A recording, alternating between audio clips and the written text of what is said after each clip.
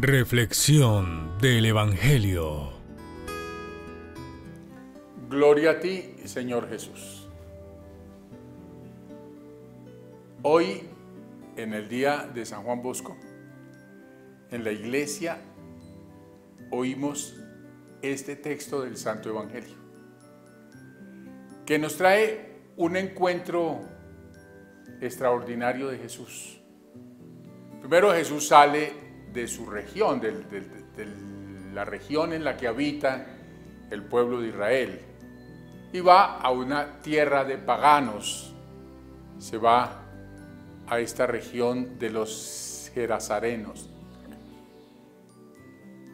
Allá se encuentra con un hombre endemoniado. Miren estos rasgos. Este hombre vive en el lugar de los muertos. Es decir, donde no hay esperanza, donde no hay vida. El mal lo ha llevado a habitar allá. Este hombre tiene en sí o ha, albergado en sí o dominan en él unas fuerzas irrefrenables. Ni con cadenas ni con cepos lograban sujetarlo, rompía las cadenas, destrozaba los cepos. Nadie tenía fuerza para dominarlo. Estaba en el presente el misterio del mal. O él le habría abierto la puerta, o este misterio había entrado, pero nadie entra en el interior de una persona si él no ha abierto la puerta este hombre empieza a actuar de una manera extraña. Ve correr a Jesús, este que no se deja apresar de nadie, se acerca a Jesús, viendo de lejos a Jesús, echó a correr y se postró ante él y gritó con voz potente, el demonio está de rodillas delante de Jesús.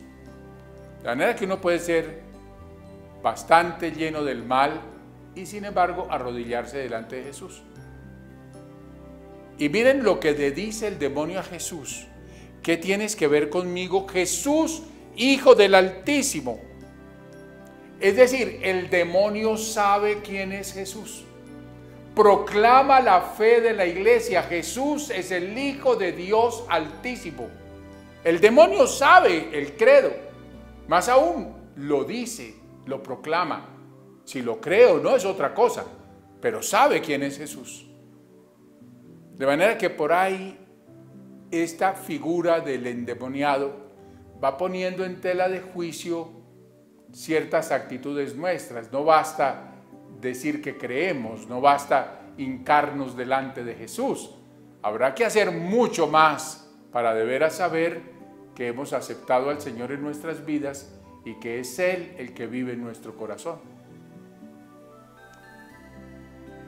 Jesús, entre tanto, lo echa diciendo, sal de este hombre. Pero le pregunta, ¿cómo te llamas? Es decir, el demonio tiene que mostrarse ante Jesús. Es la señal del dominio pleno de Jesús sobre el mal. Y él dice, somos legión, porque somos una multitud. En el hombre se puede hospedar la legión de los demonios y destruir al hombre y ponerlo a vivir en el país de la muerte y destrozar su vida y hacerlo incomunicado con los demás e irrefrenable para sí mismo.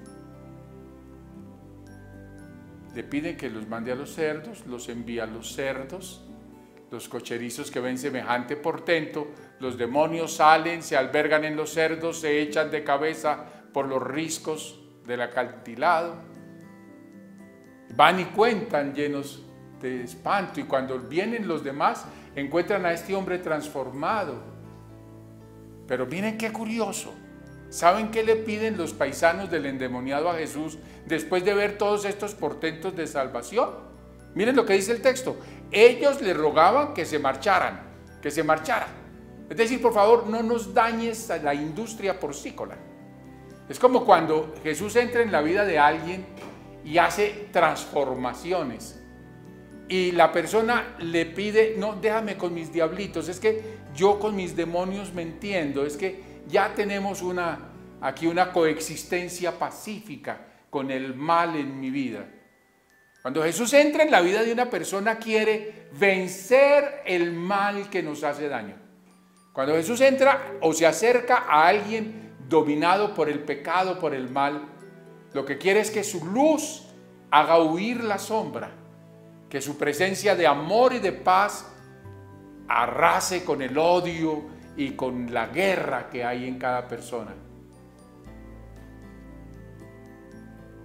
Ellos le rogaban que se, que que se marchase. Es decir, déjanos a nosotros con nuestros demonios. Nosotros sabemos cómo los manejamos.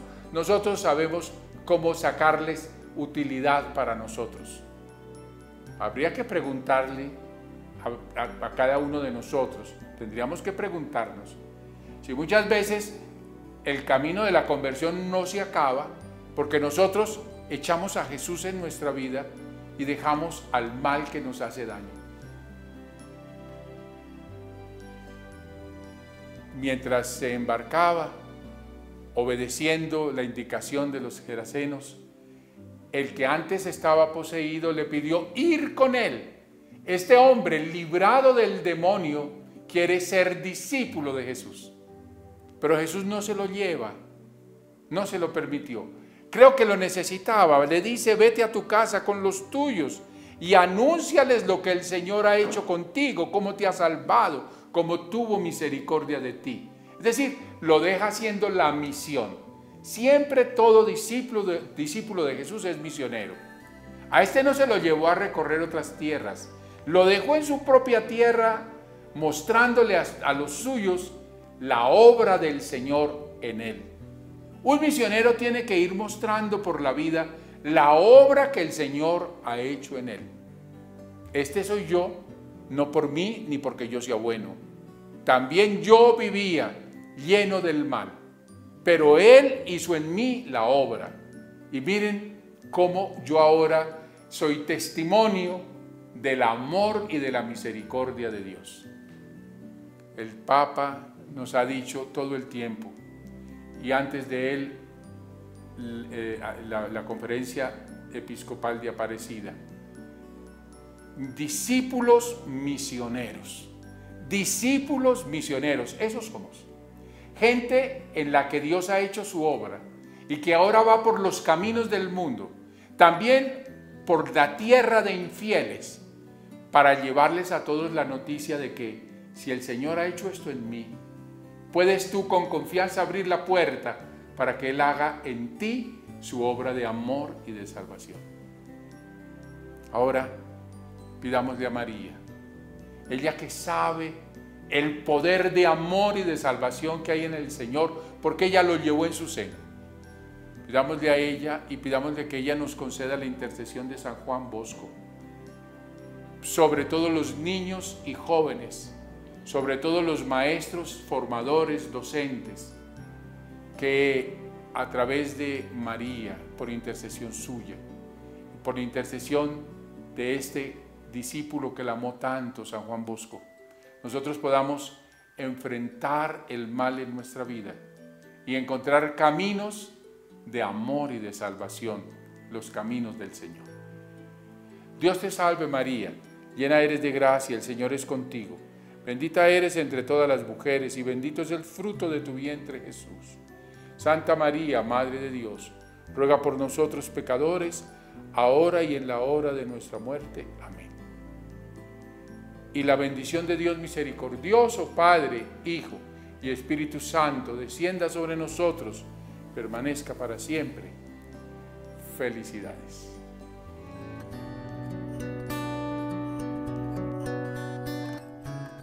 Reflexión del Evangelio.